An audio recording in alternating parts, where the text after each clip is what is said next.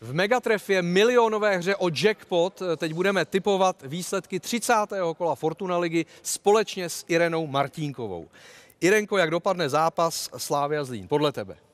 2-0. 2-0 pro Slávy. Jdeme dál. Boleslav Plzeň.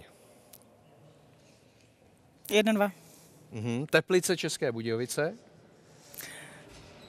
Uh, remíza 0-0. Slovácko Liberec. Uh, 2-0. Eh, Baník Ostrava hostí Jablonec. Mm, 1-1. Mhm. Olomouc Sparta. 0-2. 0-2. Nečekal jsem nic jiného. Eh, Karviná Pardubice. Uh, 2-1. A Bohemians Hradec Králové. 1-0. Tak samotného by mě zajímalo, kolik si toho trefila. Mě to taky. se dozvíme, vám držíme palce.